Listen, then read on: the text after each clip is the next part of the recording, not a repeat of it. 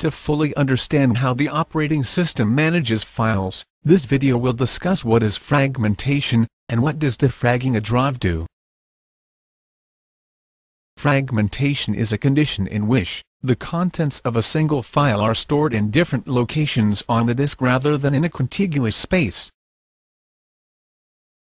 This results in an efficient use of storage space as well as occasional performance degradation.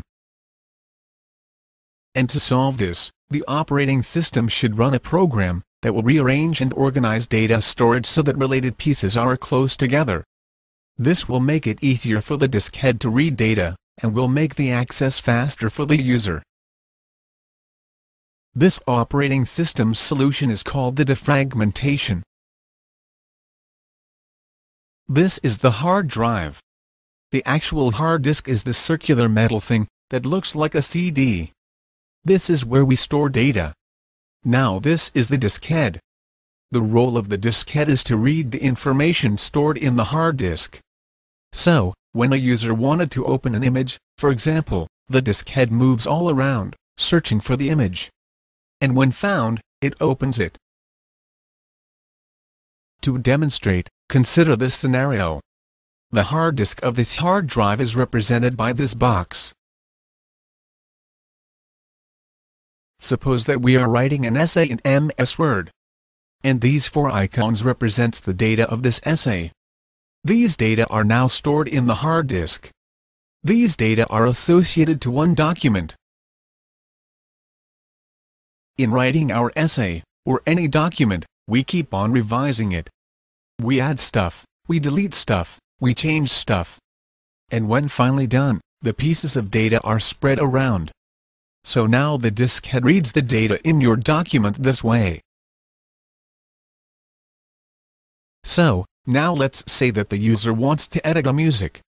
Again, these icons represent the data of the music. For example we will edit this music using the Audacity. Let us put the data on the hard disk. And the disk head again will read the data of our music in this way.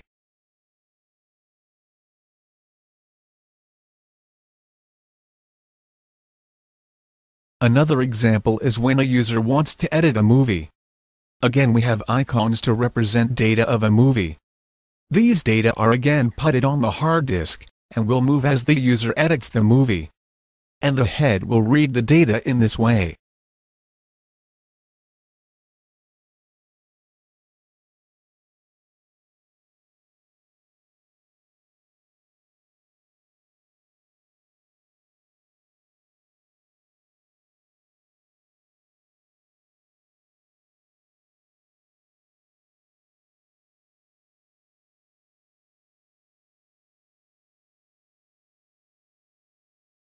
Now this is how the hard disk looks like after users perform different file operations. Parts of each files are so far away from each other, making it hard for the disk head to read. For example, parts of the document is on the other side, and here and here. And this is the main problem, the disk head goes crazy, because it has to look for the data in the disk when opening that file, because the data of the file is scattered all around the disk, unlike if it is contiguously organized. The solution to this problem is defragmentation. Disk defragmentation arranges all the data of the same file contiguously, adjacent to each other. And that's it. The data on the disks are now arranged. So, it is now easier for the disk head to read data of a file the head will read the data in one single reading in one direction. It helps your computer's performance, and accessing of files much faster.